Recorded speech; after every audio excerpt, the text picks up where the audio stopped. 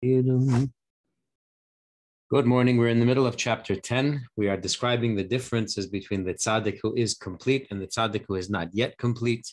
And the reason we are describing the difference between the tzaddik who is complete and the tzaddik who is not complete is because by understanding, when we will understand how to truly accomplish the perfect service of Hashem, the perfect transformation of the animal soul and the and the kalipa that sustains it,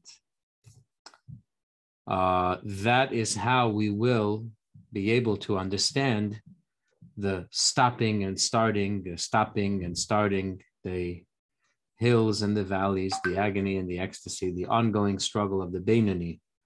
Uh, and that's going to be the focus of the remainder of the Sefer, obviously, because that is, that's us. That's who the Alter Rebbe is primarily speaking to, is Beinonim, average servants of Hashem. Let's begin with a quote from the Gemara that will take us through really the rest of this chapter of Tanya. The Gemara is from Sukkah, and we should spend a little time understanding all of the descriptions, uh, try to translate them into something practical, something that makes sense to us. I'll put this on the screen for your benefit.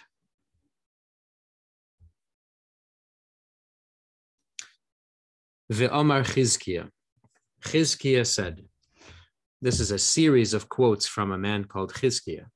Amar Rabbi that he's quoting Rabbi Yirmiyah as having said, Mishum Rabbi Shimon ben Yochai, who was in turn quoting Rabbi Shimon ben Yochai as saying, so who, who's really the progenitor of this teaching? Who's really the source of this teaching is Rabbi Shimon ben Yochai. Rabbi Shimon ben Yochai said, Ra'isi b'nei aliyah, I have seen people who are lofty, vehein mu'atim, and they are few. B'nei aliyah. We know the word aliyah because today aliyah means to go up to the Holy Land. Aliyah means to leave the diaspora and go to Israel. Right? That's not what we are talking about here. If that's B'nai Aliyah, then they are not Mu'atim. They are very many, and there should be more. However, um, why is it called Aliyah? David HaMelech coined the phrase.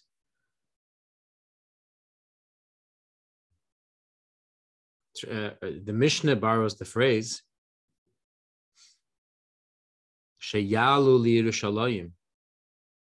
that they ascended to Jerusalem. Jerusalem is high. So Aliyah means high. Aliyah also means to be called to the Torah. Why should a person, why is getting called to the Torah a Aliyah? There's deep meaning behind it, but simply you go up to the podium. You go from your seat to the podium. That is a uh, that's a, an upgrade. What else is aliyah? Uh, the attic is called the aliyah. There was one, there were, uh, let's see, it's a principle in Talmud that Beis Hillel and Beis Shammai, two Talmudic academies in the era of the Talmudic peoples, in the Mishnaic era, whenever they are debating with each other on halachic matter, Beis Hillel, Hillel's academy, wins except for, I believe it's six. I'm not sure about the number. Why? Well, there once upon a time was a meeting in somebody's attic, in somebody's aliyah, and there they sorted out 18 halachas, and uh, of them, Beis Shammai won because there were more representatives from Shammai's camp than Hillel's camp. So Shammai, Beis, Beis Shammai, Shammai's academy, won the debates. But the point of the story that I'm sharing is not so that we should study Talmud and Talmudic debates and the mechanisms of how we decipher halacha when there is a debate, but just to show you that the term aliyah means an attic. What else does aliyah mean? Aliyah simply means ascension, to go up high. So when a person is going up high, then um, It's called they're oile. They're being oile. Let's look at Rashi. Why is why are we refer why are we being taught about bnei aliyah? Why are what does it mean bnei aliyah? Ra'isi bnei aliyah vehem mu'atim says Rashi. Roya ani I see lefi ma'isa habriyas according to the behaviors of people shebnei aliyah that elevated people is kat hamekablim pnei shchina that means a small, that means the group that are worthy of greeting the Shekhinah every day through their behavior, mu'atim him, they are few. So elevated people, lofty people means people whose behavior makes them worthy to greet the Shekhinah.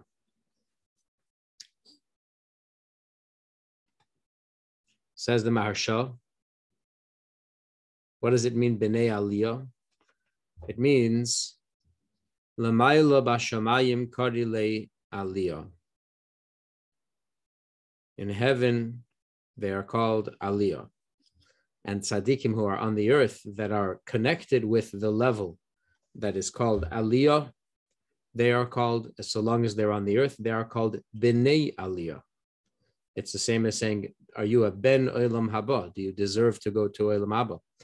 Are you a ben aliyah? Do you deserve to reach that level when the neshama will retire into the world of souls, will your neshama retire to a place called aliyah? To a place called aliyah. Will your neshama be on the level of aliyah? If yes, then you are called bnei aliyah. And what Rabbi Shimon ben Yochai is saying that the group of such tzaddikim is very small. He says, agudase hashayochim sham ba'aretz Yesaydam, Ba'aretz Avoin Ha'ilam.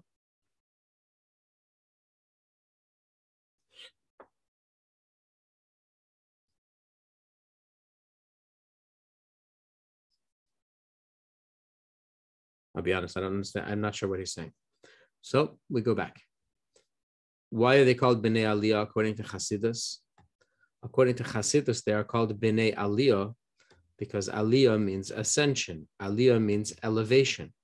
And these tzaddikim, who in their avodas Hashem, not only have they succeeded in subduing the evil of their animal soul to the point where it is silent, but in fact, they were successful even in transforming the evil of their animal soul so that the animal soul should be a force, a cause for goodness and holiness in their life, desiring only a connection to Hashem, just like their divine soul. That is an elevation. Those are elevated people. They have successfully elevated all the parts of their selves. Says Rabbi Shimon ben Yochai, Im elefim, if there are a thousand, and the Maharsha explains that what Rabbi Shimon ben Yochai saw. Maybe it was the Bnei Yehoyada. What did Rabbi Shimon ben Yochai saw? see what did Rabbi Shimon ben Yochai see?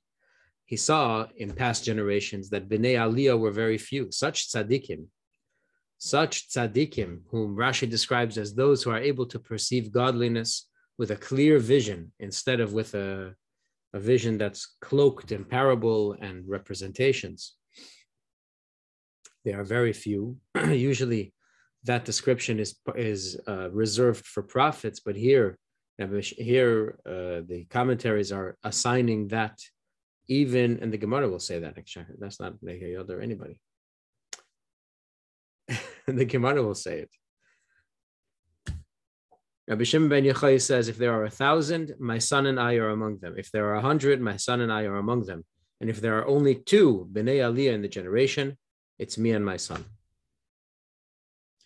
Uh, so as the Gemara says, is it such a small number? The Ha'amar Rava, didn't Rava say, Tam Nisri Alfe, that you have at least 18,000 righteous people who dwell in a who dwell before Hashem. Shanemar, as it says, Saviv Shmenasar Elef, that around him there are 18,000. That means there are at least 18,000 tzaddikim. So why would you say that there's a thousand or a hundred or two? It should be 18,000. Says the Gemara Loy The number 18,000 is referring to one type of tzaddik, and the number 1,000 or a 100 or 2 is referring to a different kind of tzaddik. What kind of tzaddikim are we describing as the hundred, uh, the thousand, the hundred, or the two? These, the few that Rabbi Shimon is describing, are those who can see through a, through a clear glass partition. And those are the, the 18,000 are tzaddikim who don't see through a clear partition, but they do they they do um. They do receive the presence of Hashem, but not in a crystal clear, not with a crystal clear uh, perception. So the Gemara wants to clarify more. And are you suggesting, is it correct to suggest that those who can see Hashem with a clear perception, that they are so very few, a thousand or a hundred or maybe even two? The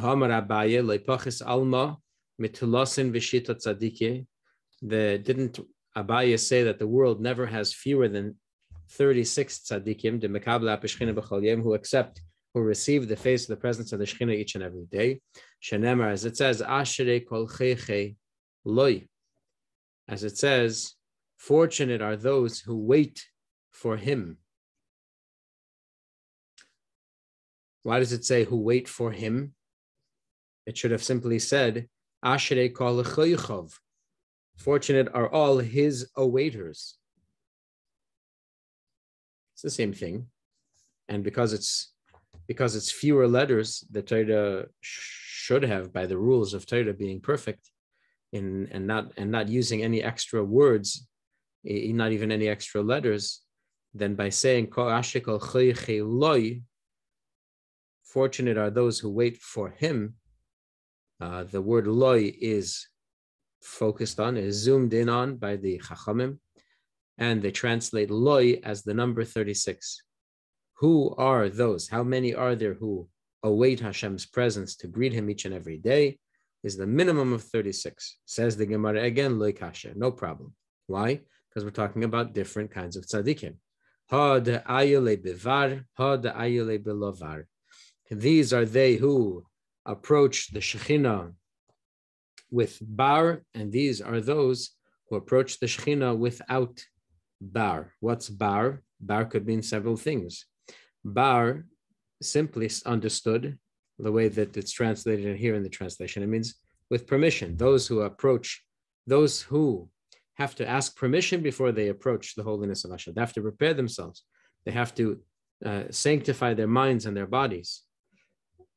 That's one kind of tzaddik. But then you have a tzaddik like Moshe Rabbeinu, about whom it says, "B'chol beisi nemonhu."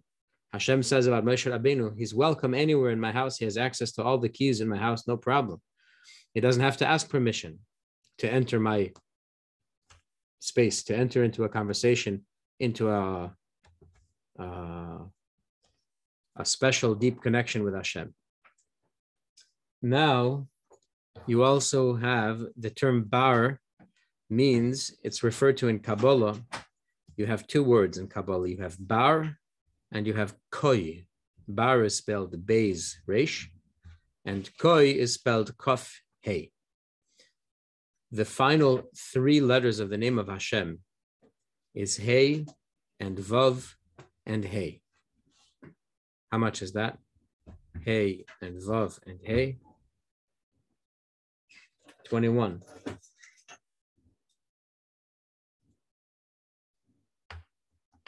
Um, nope. Hey and Vav and Hey is how much?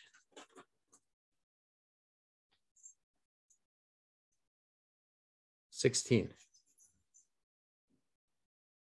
Hey, something's wrong. Thought I had it. The final three letters of the name of Hashem, regardless of how much they how much they uh, equal to. Uh, the final three letters of the name of Hashem uh, correspond to three out of the five levels of soul. Every soul has five levels Nefesh, Ruach, Neshama, Chaya, and Yechida. We discussed this last week also. Of Nefesh, Ruach, Neshama, Chaya, and Yechida, a person, a human being, has access to three Nefesh, Ruach, Neshama. And that's called Koi.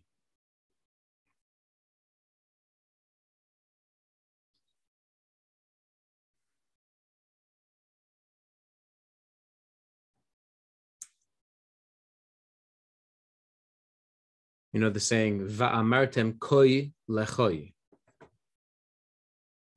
From the song of Rashbi, when they sing it, Rabbi. What does it mean, koi lechoi? Choi is Rashi Teves Chaya Yechida.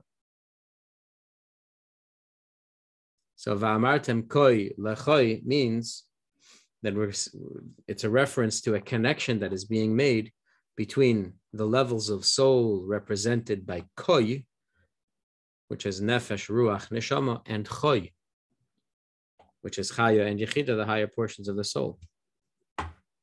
And this, the Bnei Yehoyada says, a person who is lucky enough to approach Hashem with the higher portions of his soul, chaya, yechida, those are very few. That's a neshama from Atzilus. That's a very lofty person. The rest of us have to suffice, even the great tzaddikim among us, mostly have to suffice with interacting with Hashem on the level of nefesh, ruach, neshama, on the level of koi. What is the level? What are the what the uh, the two portions of the soul called chaya and yechida? What are they? They are referred to as bar. Bar could be, could be understood as outside of. So nefesh, ruach, neshama is inside the body of the person, could be connected with the body of the person. And bar, chaya, yechida remain always outside the body of the person. Bar. So you have tzaddikim who serve Hashem with bar, like the Gemara said. Bar means the higher levels of the soul. Or you have tzaddikim who serve Hashem with koi, not with bar, with the regular portions of the soul that a human being is privy to. And then finally, the Bnei Yehoyada makes an interesting, beautiful comment, and um, and that is like this. Let's say, let's say this pasuk is a description of the 36 holy tzaddikim, and there are 36. What makes this group of tzaddikim extra special? Because bar is also bar also translates as son, like a father and a son. And what Rabbi Shimon ben Yochai is saying is that the uniqueness of these two tzaddikim, Rabbi Shimon and his son, is that it's not many great tzaddikim who can come and approach Hashem on an equal level as their own son.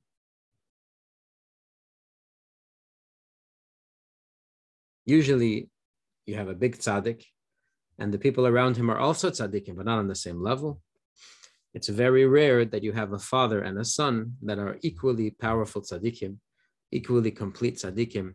And Rabbi Shimon Yochai may have been saying, um, you have a tzaddikim, you have the many tzaddikim who serve Hashem without, on a level, without their own bar, without their own sons. Their sons are they're on a different level than they, but you have the perfect tzaddikim who serve Hashem with bar, with their own sons, like Rabbi Shem ben Yochai and his son. Um, an interesting tidbit from this Bnei Yehoyada who brought from the Siddur of the Rashash was a big Kabbalist. And generally we don't learn Kabbalah, but it's a cute thing. So I'll bring it, I'll, I'll share it with you. That the words, that we say the word bracha, send bracha to us. What's bracha? Baracha is bar koi. Bar is the higher levels of soul, and and koi is the lower levels of the soul. So, are we asking that the light of Hashem should flow through all the levels of our soul? Are we asking that Hashem should provide us access to all the levels of our soul? Are we asking that Hashem should connect the two levels of soul to each other? I don't know. I didn't read the Siddur of the Rashash. I just know that bracha is is connected with those two things, the levels of soul that we discussed, bar and koi. Okay, we've had enough fun. Now let's go back in the time. We're talking about the tzaddik who is not yet complete. And we're continuing where we left off last week. The tzaddik she'ene gomer hu she'ene seina hasitra achra betachlis hasino. The tzaddik who is incomplete, why is he incomplete? Why hasn't he made it all the way? The answer is because he does not despise, he does not despise evil completely.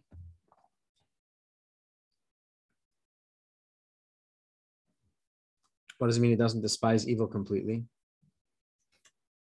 Says the Alter Rebbe, it means that he's not disgusted with it to the highest level. An example. Let's say a person is uh, you, you're cleaning up your kitchen and you find a bag of bread and the bag is, is growing colors. Happens sometimes especially on a humid day, the bags of bread grow colors. What do you do with this bag of bread? You wrap it twice. According to halacha, you have to wrap it twice. You don't throw bread out in the garbage. You wrap it twice and you throw it in the garbage. Because what are you going to do? You're going to eat it. It's disgusting. Let's say, let's say Rahman al for some reason, a person has no access to bread, and all that he has is this colorful bag of bread. What's he going to do? He's going to explain to himself that penicillin is mold and mold is penicillin, and he's going to eat the bread, colors and all. But he'll have no delight in it. He'll have no joy in it. It may turn his stomach a little bit. A tzaddik who is not complete and does not despise evil completely, for him, evil is like the moldy bread. I will not eat it. I don't want to eat it. If I had to eat it, it would make me nauseous but it's not correct to say that it's so disgusting that I would die before I would eat it. Right? Uh, you don't have to use your imagination very, very, you don't need a strong imagination to think of things that a person would rather die before they were made to eat those things. It's that's called absolute disgust. Absolute disgust. You cannot, you will not, you would rather die. That's the that's the difference between the complete tzaddik's feelings towards evil and the incomplete tzaddik's feelings towards evil. Where does this difference come from? The difference comes from the fact the chol she'ein hasin of hamias betachlis whenever you have a person whose hatred and disgust is not ultimate, is not absolute, al karchach, you must, you have no choice but to admit shenishar is Hashem lisham, that there is left in his animal soul, not God forbid, chaz v'shalom chaz v'shalom, to say that a tzaddik has some interest in those things. We're not talking about the tzaddik himself now. We're talking about the animal soul that exists inside of the tzaddik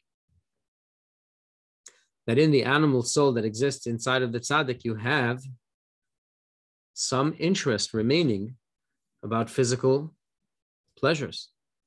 It's not completely transformed to holiness, where the animal soul also would be so nauseous, eating the uh, involving itself in, phys- in physical worldly pleasures, where the animal soul would be upset and disgusted by anything that pulls him away from Hashem. That's a full tzaddik. Here you have the regular tzaddik, the, the tzaddik that is not yet complete means that his animal soul still, still identifies with the world and its pleasures. Mm-hmm. That means that the dirty, filthy garments of the animal soul, that means its capacity to desire worldly things, has not been removed from it. True, there is no expression of this. The animal soul doesn't express any interests for worldly things, but its capacity to express those worldly things, those worldly interests, has not been removed, has not been overwhelmed by its by its uh, gushing love for Hashem. and therefore, mamish. We cannot claim that this tzaddik's animal soul has to has been transformed to holiness, really, to goodness. Because it still is holding on to those filthy garments. And like it says in the holy books, you cannot maintain your attention on two things simultaneously. True, hold on. The truth is that the human being can, because the human being is made of two souls. On the one hand, the godly soul yearns for godliness, and on the other hand, the animal soul yearns for animalistic things. And therefore, it's possible that the human being can be interested in both things. Both things cannot op- both things cannot occupy his attention at the same time. But to have interest in the, both of those things, a, a, human being is capable. That's the whole point of what Alter is telling us. We are a dichotomy. We are a contradiction. But the animal soul itself cannot be interested in two things. Alter said, if you were only one soul and you were interested in two things, then you'd have a problem. Then you need to see a psychiatrist because that is a split personality and it's no good. But because we have two separate souls, each one can want what it wants and it's not a contradiction. Here we're talking about one soul. We're talking about the animal soul in the tzaddik that is not yet complete. This animal soul still has interest in donuts. It cannot be 100% devoted to Hashem by definition, it cannot be 100% devoted to Hashem, and that means that it has not truly been transformed. Ella, then in what state is this animal soul by the tzaddik? Why does he get to be called the tzaddik if he still has the capacity to desire foreign things, unholy things? The state of the animal soul or let's be very specific. Let's go all the way down to the uh, to the atomic level. The state of the unholiness, the state of the evil in the animal soul is shehu batel bimiutai, because it is so minimal, it is overwhelmed. It is a batel because of its smallness.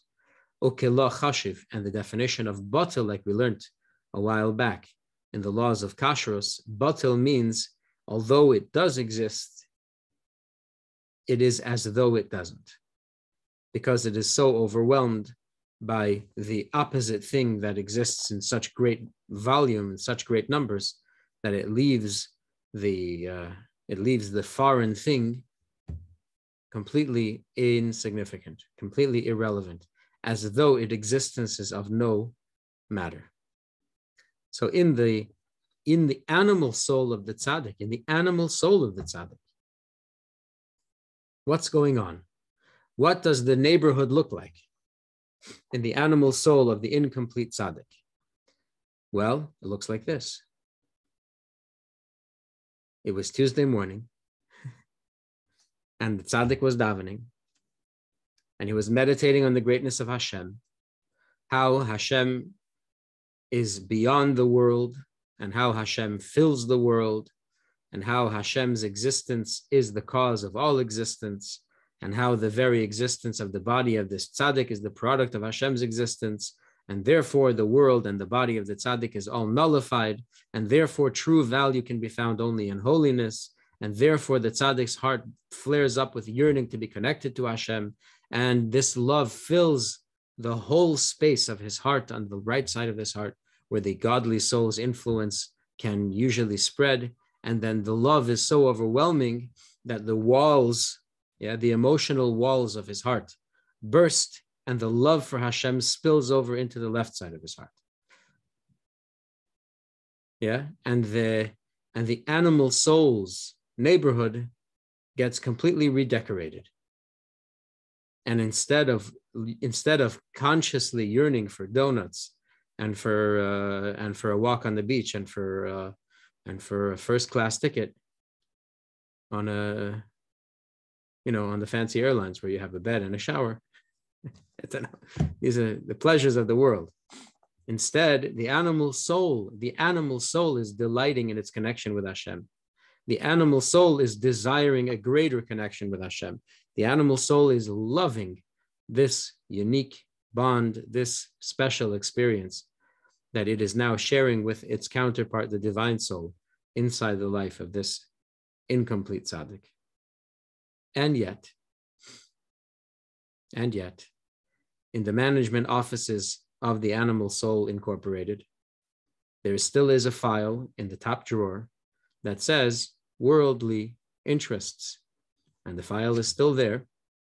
And all the previous delights and all the previous joys of the animal soul, including but not limited to the food that it ate, the trips that it took, the sights that it saw, the things that it experienced that make that made it feel so good and comfortable and safe, they're all listed there in the special file called worldly interests.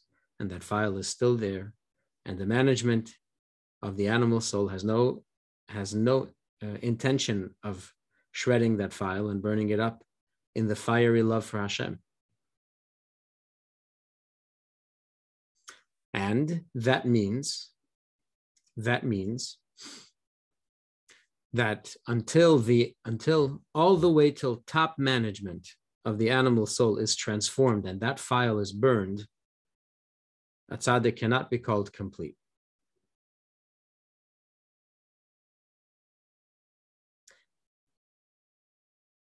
Because you cannot, you cannot leave space. You cannot leave space for worldly interests if you are entirely transformed into a servant of Hashem. If the animal soul were transformed into an absolute force for goodness, there would not even be a possibility for worldly interests. Moldy bread would start to look like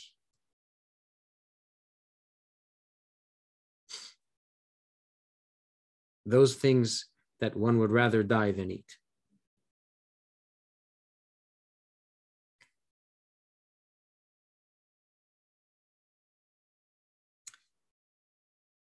and yet he's a tzaddik.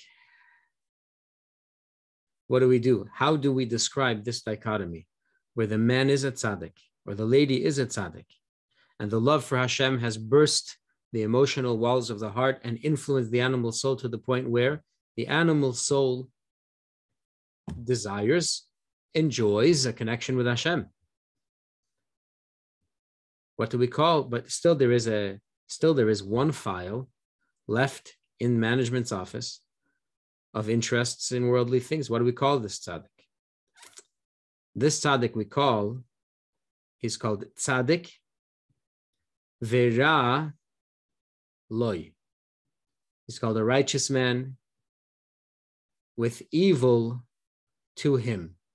And the Alter Rebbe adds uh, an interpolation. Interpolation means you add into the words a bit of more words, a few more words to help you understand exactly what's happening. So the Alter Rebbe says, "Tzadik vera loy," which is the Gemara's term. That's that's Talmudic language. The Alter Rebbe adds, "Tzadik with evil to him." Read it, tzaddik with evil completely nullified and humbled to him. There is evil there, but it's absolutely nullified and absolutely humbled, silenced in the life of the tzaddik. The evil of the animal soul is absolutely silent in the life of the tzaddik, though it is there. The alkin, and therefore, we're just we're just tying together all the loose ends.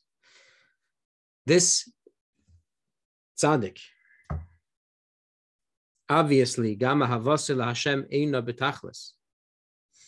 His love for Hashem is obviously also not absolute.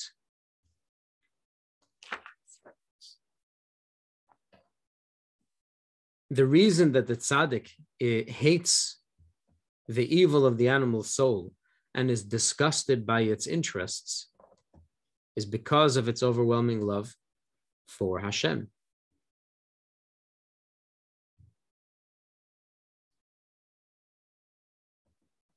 If the person does not have this absolute overwhelming disgust, absolute disgust for the interests of the animal soul and an absolute hatred for the animal soul, then he obviously does not have an absolute love for Hashem. Because they are perfectly commensurate to each other. They are comper- they're perfectly going to be corresponding to each other. I apologize for this analogy, but here we are talking about sending the evil of the animal soul away. And we're talking about hatred and we're talking about disgust. At the beginning of this section, the Alter Rebbe, what we were learning today, the Alter Rebbe says the hatred and the disgust are not absolute. The tzaddik who's incomplete means that he doesn't hate the side of evil completely, and therefore he is not disgusted by it to the ultimate level hatred and disgust. It seems like disgust comes from hatred. Disgust is the product of hatred. It's true. But, disg- but hatred and disgust are also two levels. Two levels. And halacha, halacha indicates that from hatred, you can come back. From disgust, there's no coming back. Where does halacha have this discussion? In the context of a divorce. Yeah. If a lady says about a guy, he disgusts me, or if a guy says about a lady, she disgusts me, there's no coming back from that. But if the two, when halacha is encouraging people to try to make the marriage work, halacha says if there's hatred, we can still have a conversation. If there's disgust, we cannot even have a conversation. See, the tzaddik who is not complete hates, but he's not disgusted. That means, theoretically, in some foreign world, in some unimaginable circumstances, a tzaddik who is not complete, you, the forces of evil could have with him a conversation. Come, let's talk, let's negotiate. Maybe we could uh, work out a deal. But the complete tzaddik, his, his response to evil is disgust. And there's no coming back from that. Like the stories that we described. Yeah. In Hasidus, by the way, in Hasidus, we find several levels, several layers, several iterations, versions of hatred. Things that we should hate. For example, generally in hatred, there's a hatred that you feel from afar. And there's hatred that you feel personally you hate something that has some kind of a, a distant effect on you, but not an immediate effect on you. And then there's a special hatred that you have for things that actually affect you directly.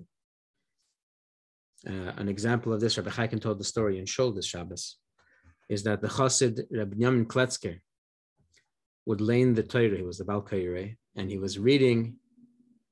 He was not the Baal Koreh. He was listening to the Baal Koreh read the Parshas Zachor, which is the commandment in the Torah to eradicate the memory of Amalek.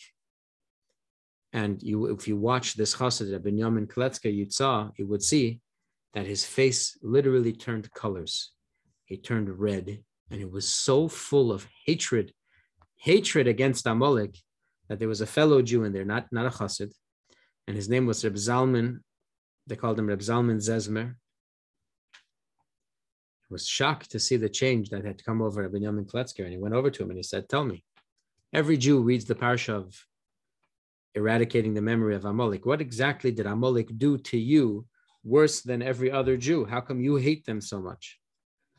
And Benjamin says to Reb Zalman, I can't answer that question. Go to the Alter Rebbe.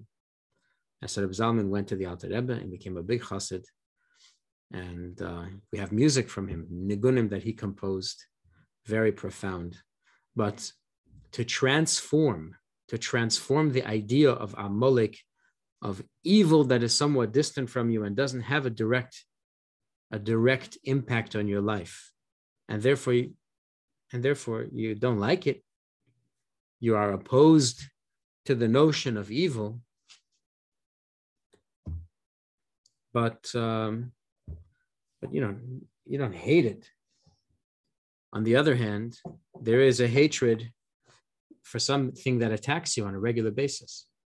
Something that attacks you on a regular basis you hate it to the point of death. In yesterday's Rambam, we had another beautiful example of this. We're learning the laws of the para aduma, the preparations that are required for the ashes of the red heifer to be sprinkled on a person who became impure with a, through contact with a corpse. The rule, the, the rule of thumb, the principle is that if during the preparations, the person doing the preparations is distracted by some other work, he's doing two things at the same time, that mixture that he was working on is disqualified. You have to draw water, you have to bring it to the right place, you have to sprinkle the ashes of the para aduma in it, and then you have to sprinkle that on the person. At any point, if you're distracted, you could disqualify the mixture. So the Rambam goes through a bunch of scenarios about when it's possible to be doing something and it's not considered a distraction. He says, let's say a person killed a snake or a scorpion. Yeah. He was carrying the water, transporting it to the right place, and on the way he killed a snake or a scorpion.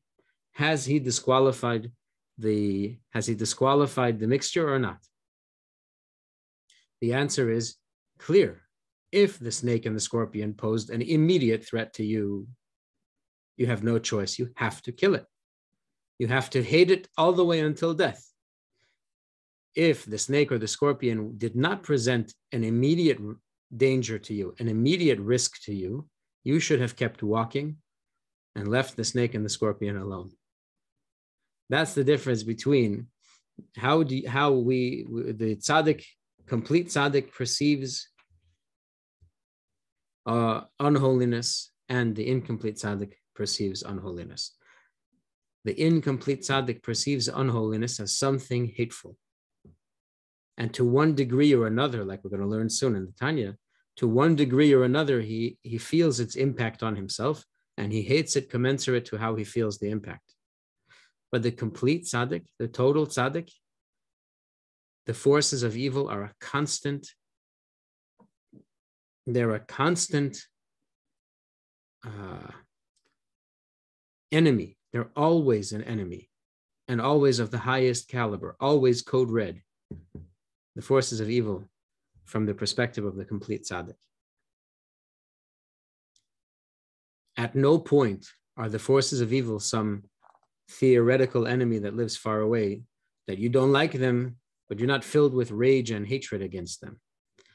That's not how the complete tzaddik lives. The complete tzaddik consistently rages against the forces of evil.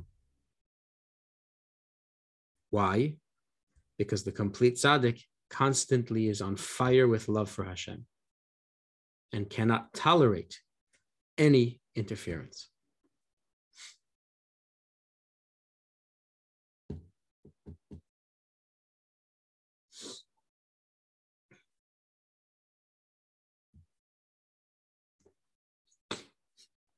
Yeah. These things, by the way, according to the principle that the Rebbe taught us, that every teaching in Tanya is relevant to every Jew in every time and in every place and in every station, the fact that we're learning about the tzaddikim contains tremendous lessons for us how we should serve Hashem. So it's true that we're not capable of such an intense and tremendous hatred for evil the way that the perfect tzaddik is, consistent and ongoing without interruption.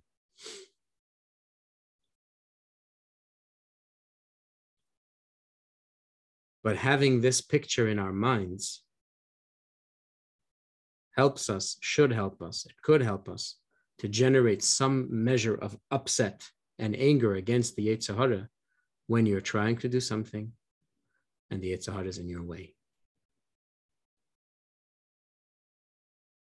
We realized how is it that the Yetzer Hara could get in our way? It's because when he's not in our way, we relax. Say, you know what? He's not bothering me now. I can let my guard down. Instead of raging against the Yetzer Hara all throughout the day, yeah, we uh, we take our we let the guard go go home for the night. We dismiss the security forces, and then the Yetzer Hara has access again. So what should we do? We should try to be more like the tzaddik. Know what is holy, know what is evil, and constantly love and embrace that which is holy, and constantly rant and rave internally, of course. We don't want to be walking around ranting and raving. Internally, of course, ranting and raving, raging against the forces of evil. And we're talking about in in a, in on the truest level we're not talking about naming names of human beings. We're not talking about naming names of one country or another country. We're not talking about naming names of politicians far away in Washington. We're talking about the goodness, the holiness that is accessible, available in my life, in my day to day actions, choices, calculations versus the evil ones, the self serving ones. It's very easy to escape true avodah by trying to address global issues. Because then you you can you can be ranting and raving and raging against injustice forever because you'll never run out of them. You also won't get anywhere in your personal connection with hashem because the personal connection with hashem is, ba- is based on your choices your behaviors your thoughts your words not uh, not universal issues Let's complete a few more lines of the Tanya, and this way we will finish the discussion about the tzaddik who is incomplete and the tzaddik who is complete. Because his love for Hashem is not absolute, and we know this because his hatred for, for evil should be exactly commensurate to his love for Hashem. Since his hatred for evil is incomplete, we know for a fact that his love for Hashem is not complete, and therefore he is called a tzaddik who is not complete his righteousness, meaning his bond with Hashem, is incomplete. This level, this tzaddik, this type of tzaddik is obviously uh, is there's many gradations depending on just how small the presence of evil is in his animal soul and just how powerful the love for Hashem that spilled over is then uh, and how the two forces the love for Hashem and the and the potential for interests and worldly affairs, how, how they measure up against each other, each one is its own level. Sometimes the evil is overwhelmed by, by uh, 51% against 49%, like we discussed. Sometimes the, the evil in the animal soul is overwhelmed by, uh, by 60 times its volume or by 100 times its volume, 200 times its volume, 1,000 times its volume. And each tzaddik has their own recipe, each tzaddik has their own mixture, and each tzaddik is in their own level.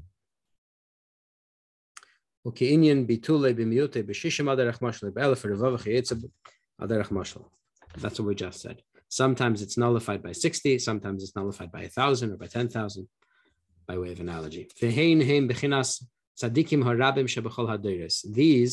are the many, many tzaddikim that exist in every generation. Kedesa ben Zoyar, Kedesa ben Gemara, like we learned in the Gemara, de tamnesar alpe tzaddike, kayim makami that 18,000 tzaddikim exist in front of Hashem.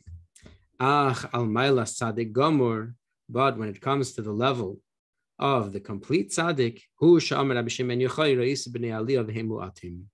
That is what Rabbi Shimon Yochai was referring to when he says, I've seen the elevated people, people who have transformed their animal souls into holy souls. They are very few. That's why they are called Bnei Aliyah, elevated people, because they have transformed evil and elevated it to holiness. How do we know that that is what Rabbi Shimon ben Yochai himself meant when he said Bnei Aliyah? Says the Alter Rebbe Kedisa Bezer B'Hakadama. because the Rashbi in the Zohar says. About Rashbi, it says. In the Zohar, it says. Rashbi couldn't have written it.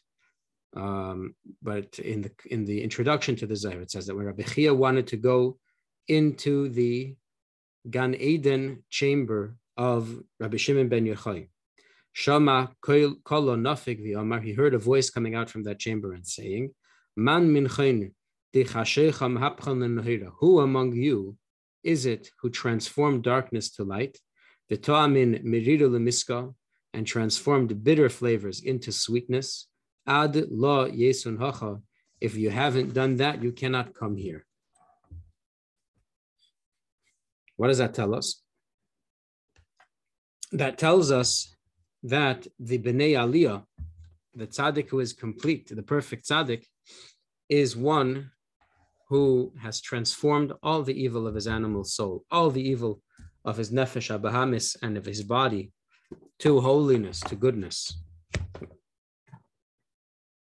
How do we know that? How is this evidence of that? Well, um, you and I, yes, do we have a chamber in the world to come? Do we have a room in the world of souls waiting for us? By now we do. yeah. What does it look like? Well, it looks like us. It looks like our mitzvahs. It looks like our spiritual level. When we were born, um, what did our chamber in, in Gan Eden look like? It looked like us. It was a perfect reflection of our divine souls at the time of our birth. Now that we have lived a little, so some human beings have decreased the beauty and splendor of their chamber in the world to come, and some human beings have increased the beauty and splendor of their chamber in the world to come.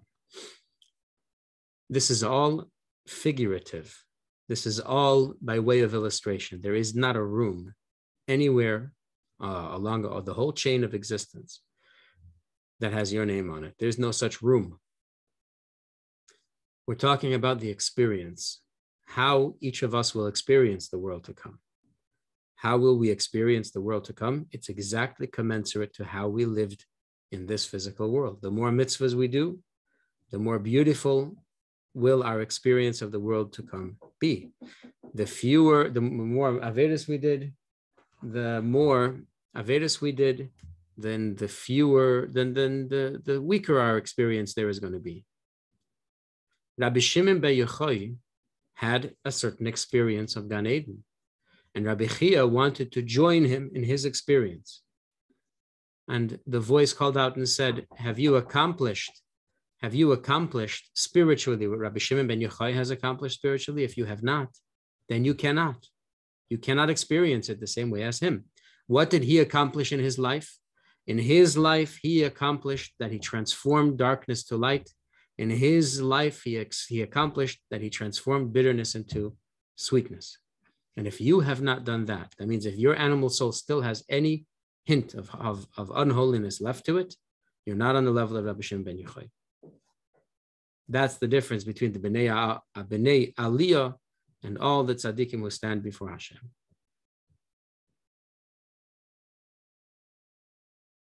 Bless you.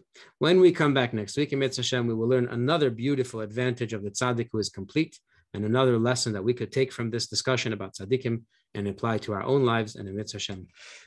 We'll all be in good health by the time that happens. When we, in the meantime, in the meantime, have yourselves a wonderful, beautiful Purim and um, we'll see you on the other side. Thanks for joining.